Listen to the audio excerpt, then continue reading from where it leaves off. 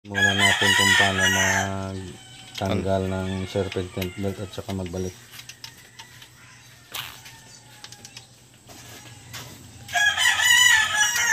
Tanggalin ko muna to para makalibre ang ano ang mirador.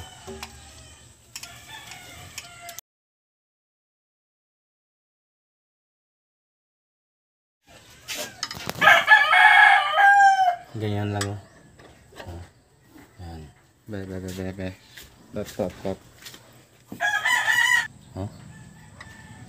Magtanggal ka, ganyan lang oh. Yan oh. Yan. Yan.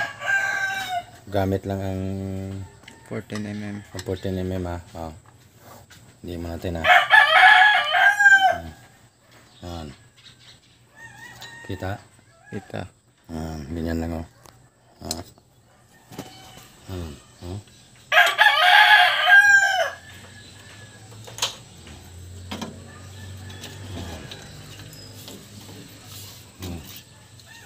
Kung magpalit kayo ng serpentine belt, yan, ganyan na. Ha? Na mag kabit ng ano, ng serpentine belt. Yan. Crankshaft.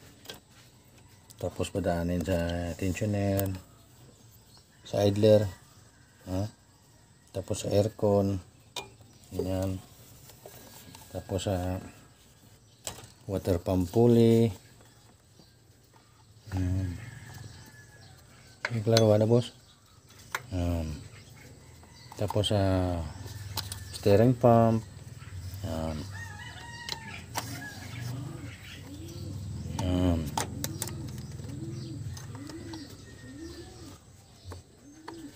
Yan. Ayos. Tapos ganyan lang oh. Hmm.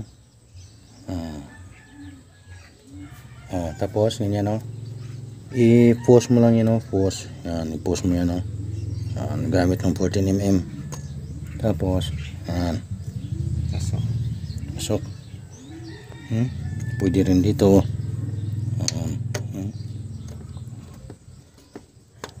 Yan. Ayos. Ayos. Yan. Hmm, ganyan na magkabit. Ayos? Ayos, boss? Ayos ah. Um, ayan lang oh. Yan ang tsura niya. oh. Yung daan niya. Ah. Ah. Ayos. Yan. Nagpalit kami kasi ng radiator to eh. Kasi nabiyak. Ang radiator dito nabiyak. Yan. Ito, itong radiator na nabiyak oh.